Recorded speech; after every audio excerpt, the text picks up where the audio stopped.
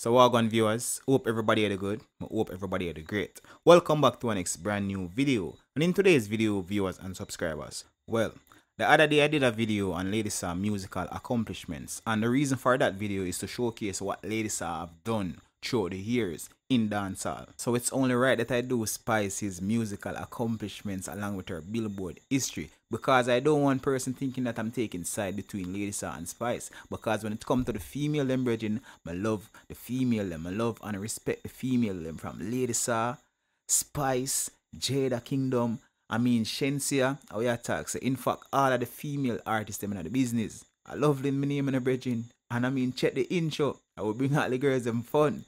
understand me I say? But anyhow, we'll get into all of this viewers, but don't know the drift. Like the video, share the content with a friend, subscribe for the first effort to the channel, and definitely leave your thoughts in the comment section so I can start off the video like this. So boom. Lovelane lock the world and done. Lock the world and done. Lovelane now your time come. Fake news no run. And you bring all the gal them fun. Sending us up to the time, you know it's called Tell. Representing for Love Lane TV, number one vlogger. Done. Oh.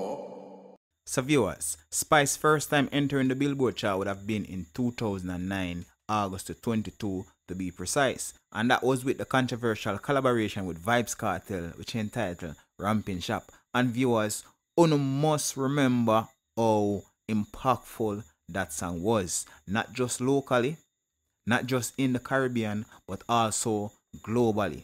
And given the fact that the song was so impactful on a wider scale, it landed on the Hot R&B and Hip Hop Top 100 Billboard chart before it was issued a cease and desist letter from Ne-Yo's team. Because initially the song was voiced and Miss Independent Lady Rhythm. And we all know that song. But anyhow, Vybz Kartel and Spice Ramping Shop spent 15 weeks on the Billboard chart before the cease and desist letter take effect. But any of you viewers under that, it still didn't stop the impact because as Thomas said, the song did done bust already and it created the impact with it create. And even when Jamaica government banned it from the airwave, it still couldn't stop it. Understand me I say. But anyhow, that that. In 2014, Spice then entered Billboard again with her EP, which entitled So Mi Like It, and we all know that song from Spice because that song is indeed one of Spice's biggest song. No jokes. But anyhow, the EP landed at number 14 on the reggae Billboard chart. And then in 2016, Spice was a feature on Kid Ink and Jeremih song which entitled Nasty. And June 18, 2016, it hit the Billboard R&B and Hip Hop Digital Song Seal at number 27. It also hit number 16 on the Rap Digital Song Sales chart and 29 on the Rhythmic Airplay and spent over 10 weeks on the chart. Anyhow, in 2018, Spice released her mixtape which entitled Capture. On the 20th of November that very same year, it debuted at number 1 on the reggae Billboard chart and lasted 3 weeks on the chart. And that was a good look. You understand me I say?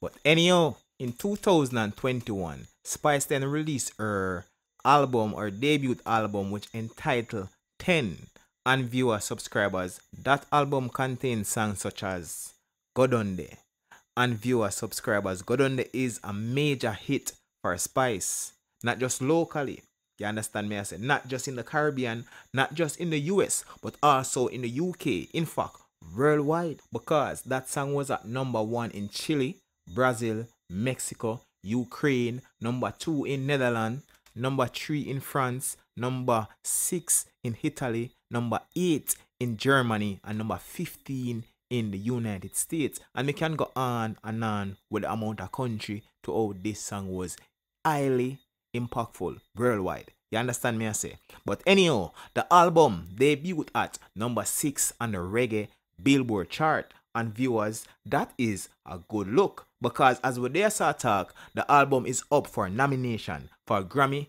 nomination and viewer subscribers. But definitely, I hope say Spice take this win. Honestly, because it would have be a good look for her. You understand me? I say hard to her collection or accolades in her music. So I mean viewers, I definitely a vote for her. You understand me? I say I hope she take this win because it would have be a good look. It would have mean a lot to her. And it would have mean a lot to dancehall, hardcore dancehall.